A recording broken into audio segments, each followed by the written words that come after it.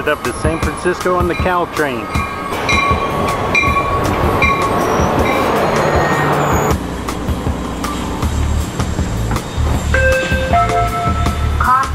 The doors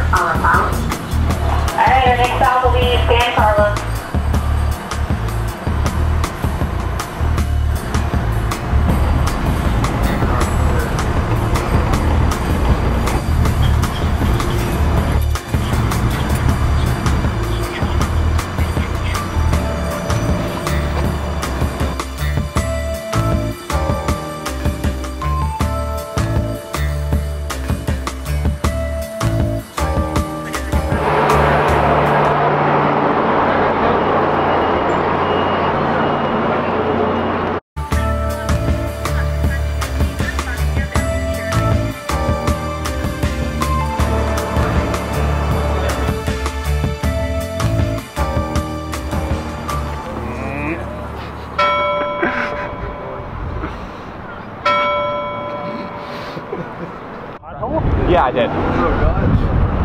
So I was going downhill, not braking enough, hit a pothole, and going fast. Not a good combination.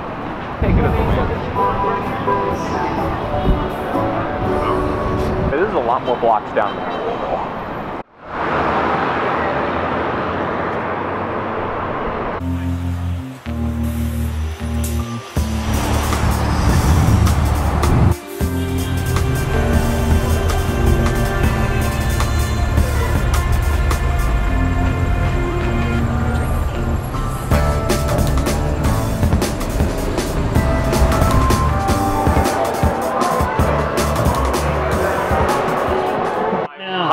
Sound. The air rushing into the glass on the right fills the vacuum completely and rams into the surface of the water, sending a pressure wave through the liquid. The sides of the glass bulge slightly, but they contain the pressure and do not break. A shock wave reverberates uh, ears as a loud bang. Around this time, the glass on the left starts to visibly lift into the air.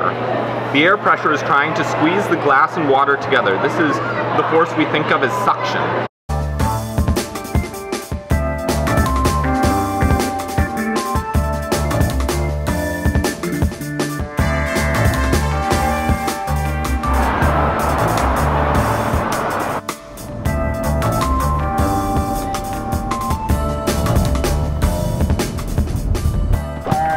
Bye, Thank you, Winston. Monkey. Love you.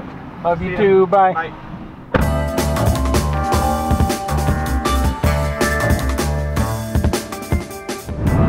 That was a nice day with Winston and Brian.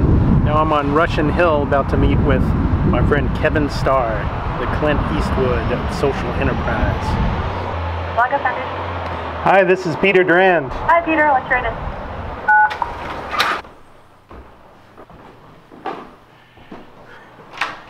Hello. Hello.